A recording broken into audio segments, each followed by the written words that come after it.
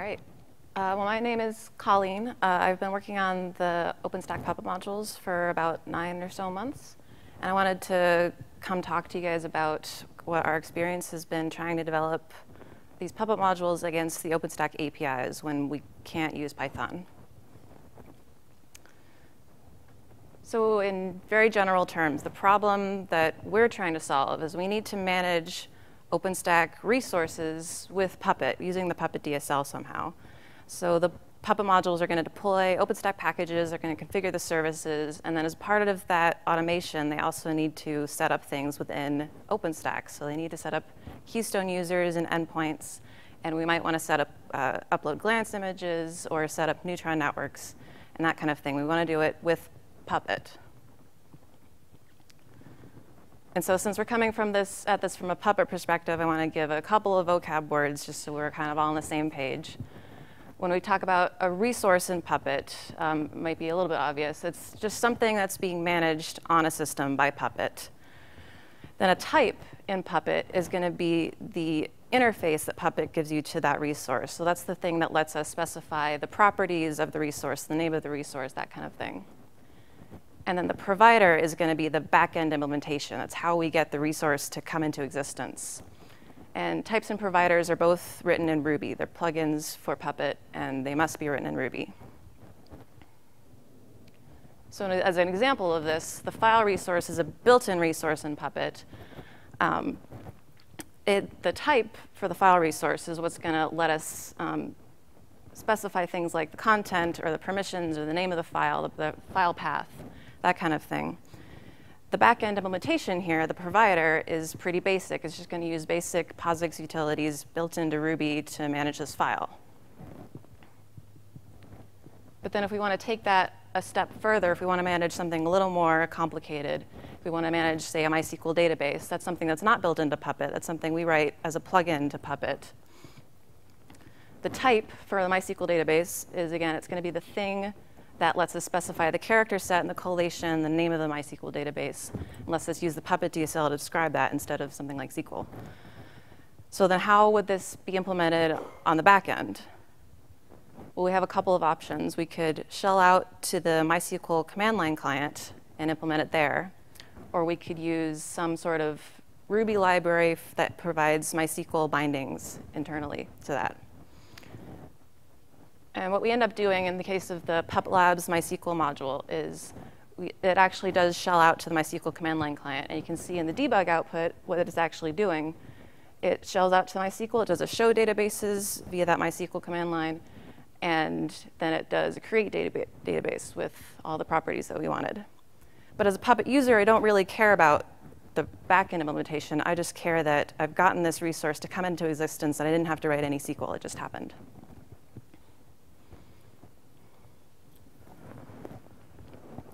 So then we take it a little bit further. Similar to the MySQL database resource, we might want to manage a Keystone tenant or Keystone project using the Puppet DSL. And the type, again, is going to be the way we specify all these properties. And then the question is, how do we do the backend implementation? And that's what the talk is about. So as software developers, we have a few requirements that are going to constrict us in how we choose our backend, implementation.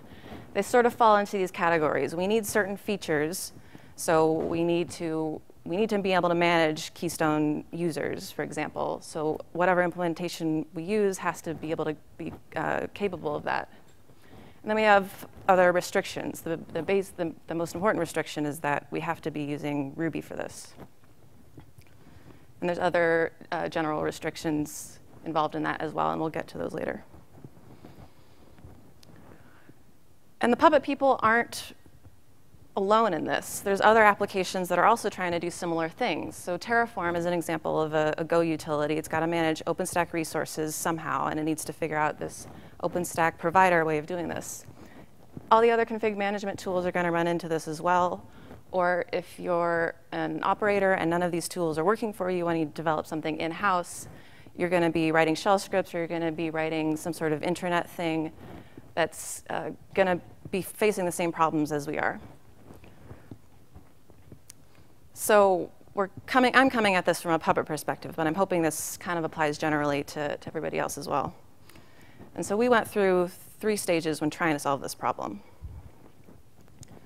The first stage is how these providers were implemented from the beginning when these were originally written in the, in the olden days.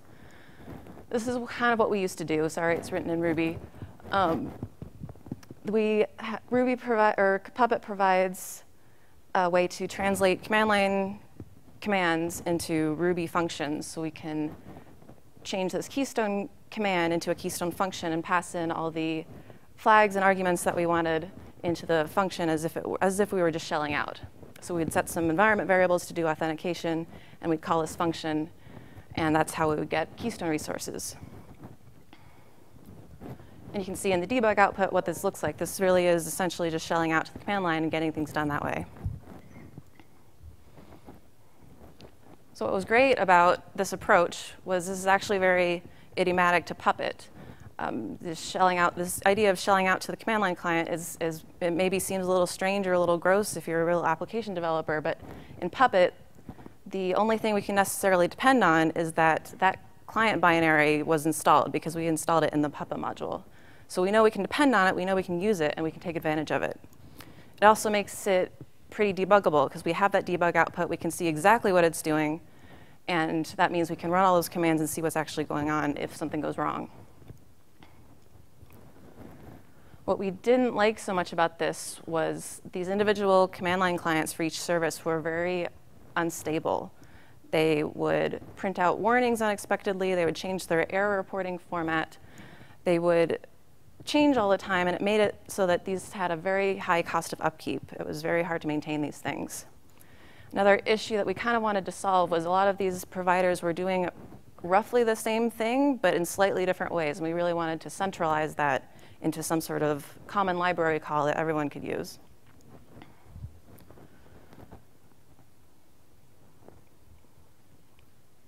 And the reason why we decided to switch away from these command line um, clients was because of the instability. So that brings us to stage two which was, well, if we don't want to use command line clients, what do we get to use? Well, we use the APIs somehow. We bypass the command line clients, we use the APIs. Well, what does that actually mean? Well, a lot of people ask me first, why don't you just use curl or the native Ruby HTTP library and you just use the APIs directly? That's the most direct, it doesn't have any dependencies. Isn't that the easiest thing to do? Well, it's actually kind of a giant pain in the ass. Um, well, first thing you'd have to do is you have to manage the tokens yourself, which is not, not terribly easy, and it uh, makes a lot of, uh, compli complicates the code a little bit. Then the next thing is you have to do some sort of action, and I'm going to use curl commands to kind of show how, how this would look if we were using the HTTP um, REST calls directly. So if we wanted to, for example, update a project or tenant, what that would look like is it's a post request and it's got some data in the body. Well, that's simple enough. If we wanted to update a network, though, that becomes a put request with data in the body again. There's kind of differences there. That's, that's a little bit annoying to account for, but that's not terrible. Well, then what if we wanted to update an image? Well, if we're using the Glance V1 API, that's a put request, and that's data in the header. Well, we're losing some consistency there. If we wanted to use v2, that's a patch request. The data is in the body, but it's a completely different JSON format that we have to deal with. And so this is why we didn't want to use the REST endpoints raw like that, because the complexity of managing this type of thing just grows exponentially. And um, the, the complexity was, was was too much, and we didn't want to re-implement everything like that. And we knew that there were already other utilities that were accomplishing this for us, so we didn't really need to reinvent a framework to do this for us. We could try to find something else. So that's why we tried to, we tried to use an SDK. That's a set of language bindings that provides a language level API for accessing OpenStack in a manner consistent with language standards. So we could use a, a Ruby library to do OpenStack things, and that sounded really great. So this is the choices we had. These are the sort of recommended SDKs available to us. The problem is they're not actually official in any sense. There's various levels of upkeep. They're not maintained consistently. They don't have every feature that we need so for example, the, the Java SDK, uh, there's a um, there's a uh, Java SDK. Uh, there's a pull request that's been open since last year to implement token-based authentication. So that's that's something that we would have needed if we were using Java that's not there yet. And Keystone v3 is just completely off the table. No one's even thought of trying to add that yet. The Node.js library, it doesn't have any support for Keystone, probably because it's meant to be run against public clouds. The PHP SDK is, it's the only one that lives on StackForge, so it's more or less official in some sort of sense, but it hasn't had a commit since October. No one is working on it. So this is what we have to work with. If you compare that to what Amazon makes available to you, um, they have official SDKs in every language you would want. They even have it for Android and iOS. I'm not really sure how you would use those. But these are all guaranteed to stay up to date and keep up with all the new features. And they are official, they are reliable.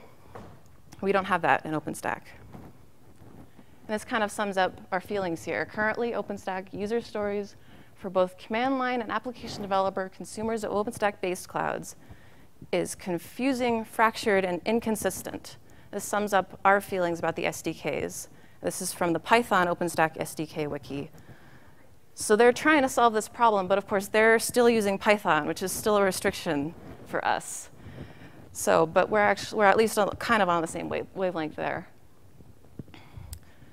One of the SDKs that was available to us was an SDK called Fog. It was a very uh, general purpose library. It abstracts um, all, the, all the different clouds we quickly decided not to go with that one because it was too big, it was too general purpose.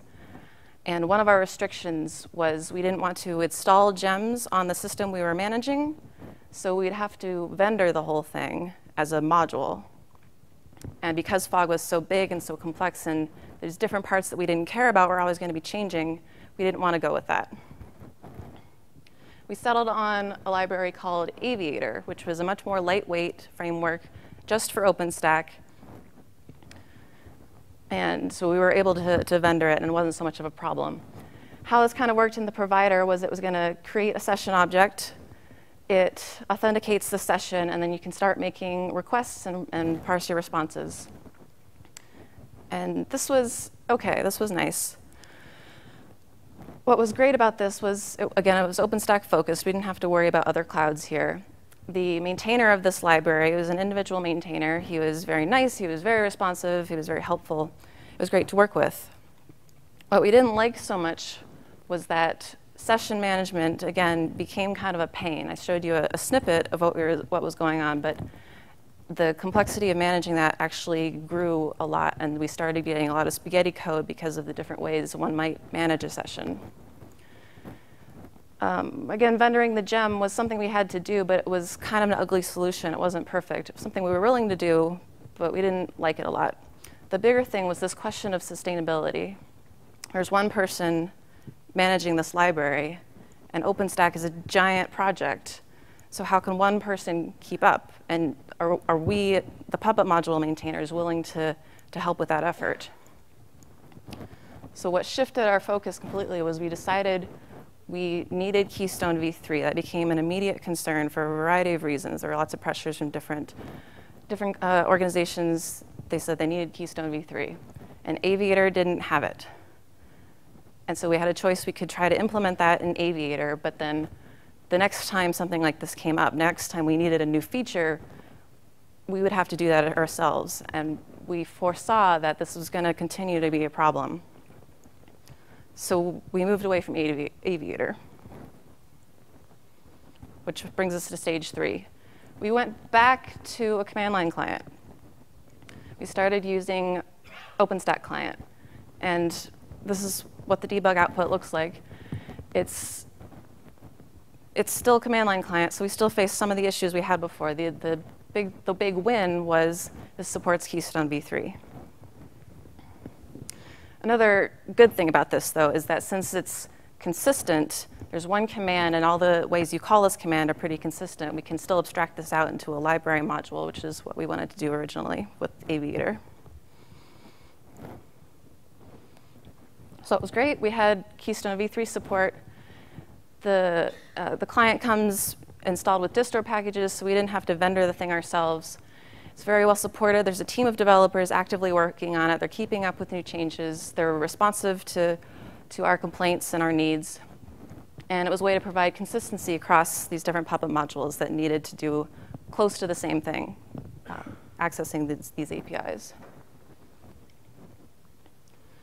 What we're, what we're finding out now, it's not so great, is now that we're dependent on the distros, we're actually at the mercy of the distros to release these packages on time.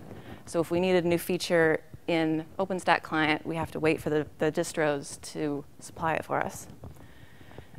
And the stability problem, which we were having originally, we're still sort of evaluating whether that's actually still, still going to be a problem or if that's going to be better in this, this common client. We're hoping it's going to be better. Sure, we can have questions now. Um, so give me an example of what was bad about this ability, like a specific example. So they would print errors out, and it would kind of change the way they, they would change the way they formatted the errors was one thing.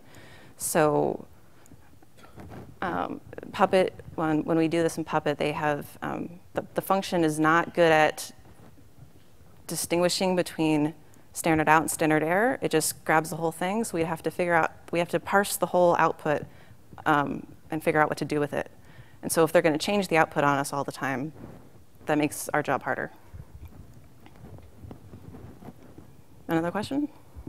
Okay. And so the status of this project where we've been trying to re-implement our Puppet providers is incomplete. When I submitted this talk, I thought we'd be all done and this would be great celebration. And this has actually become a giant task and we're not done yet. We are, we've created this, this library module. We have some of the functionality in there. A lot of the Keystone stuff has been moved over to use that instead of the Keystone client because again, the Keystone client doesn't support v3. We needed OpenStack client in order to get Keystone v3. We're starting to move Glance. We're starting to implement that Keystone v3 functionality. But we're not done yet. We're not really super close to done yet either. So the, the point of this talk was not that we have all the answers we figured it out and you guys should do it the way we did it. The point was more that as a developer who's not using Python, the way forward is not very clear.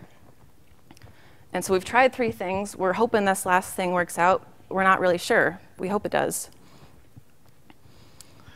So these, these things that we want in an SDK, um, sustainability, keeping up with the new features, but also being reasonably stable are things that we're hoping to see in the future, but things that we haven't really reached yet. And so I can open up now for, for more questions if you have any, or if you have similar experiences that you want to talk about. Um, otherwise, you can find me at these various places. I'm Crinkle with a C on Freenode. You can talk to me in the Puppet OpenStack channel. And does anyone have anything they want to, uh, any questions or anything you want to discuss? I'm, I'm really sorry I missed the, the first bit. Okay. I apologize for that. Did, what was like the first thing you tried? The first thing was using the individual command line clients. So instead of using OpenStack, um, the OpenStack client, we use like the Keystone client, the, no the Nova client, the Neutron client. And now we're trying to centralize on one client so they're all consistent. Sure. And, and uh, of course, you know that the, currently the OpenStack client is actually just made up of all the other clients. It just provides kind of layer of yeah. So yeah, and that's part of the reason it's it's not entirely solving the original problem we were having is because a lot of that that output and those errors and stuff, those are coming from the client libraries, not the, not the, the, not the binary itself. So. So okay, so let me ask you this: um, Did you try reaching out to anybody in the OpenStack community over your concerns and issues? Um, Not exactly, not, not up until this point, not until we started to discover OpenStack client. And at that point, uh, we started to develop a, a relationship with the developers and they started to hear our concerns. Okay. Do you mind if I ask? Uh, on, the, on the OpenStack client team, uh, Steve Martinelli and uh, Dean Troyer were the most helpful. Great. Okay. Uh, so yeah, that's certainly certainly a good way to go. Um, like, we're a little behind on this stuff. I'm on a, a team at Rackspace that works on client tooling, um, and we're we're helping out in this area as well now. Uh, and you know, at this point in the game, direct feedback is so helpful from are Mhm. really genuinely trying to use it. So yeah, you know, please continue to talk to us. Um, you know, whether it's on Freenode or Twitter, however you can get a hold of us Mhm. is great. Um, yes, tell us what's awful. Okay, we we desperately want to know what's awful so we can fix it. We can do that. But yeah, just let us have it. You know, spitfire. It's, it's great.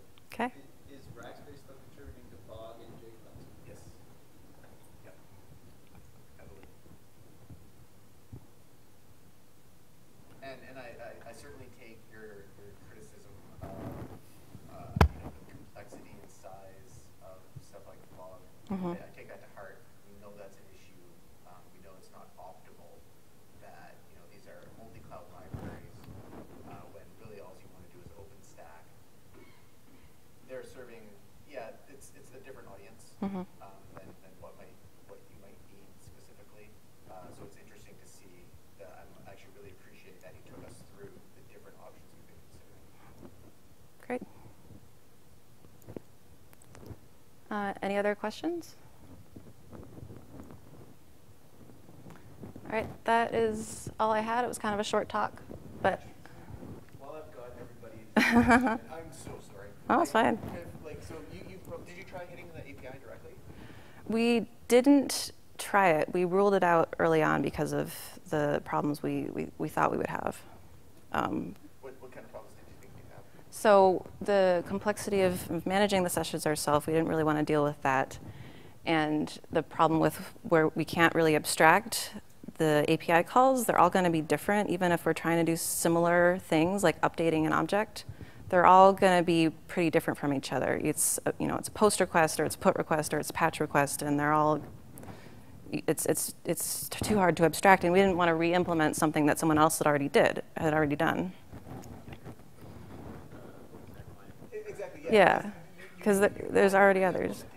right? Yeah. Um, but I was just wondering if you had considered it along somewhere along the way, or just like, oh, all this stuff is too horrible, and we're just gonna go and do our own thing. It- uh, APIs are really hard to deal with. We tried to do a couple um, introspective uh, universal clients that can like read through the APIs and auto-generate like a thing, but it's, it's Nope. they're all so different and Yep. so inconsistent that it's just like Yeah, so, yeah, I'd, I'd love to get more feedback.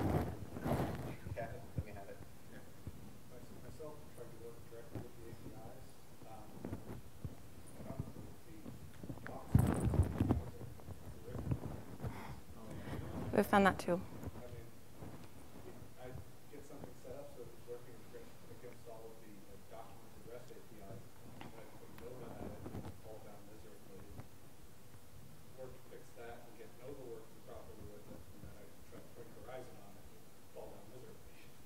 Putting together these slides was kind of a pain because I had to I had to guess at some things and get it to work because the documentation wasn't really complete enough for some cases.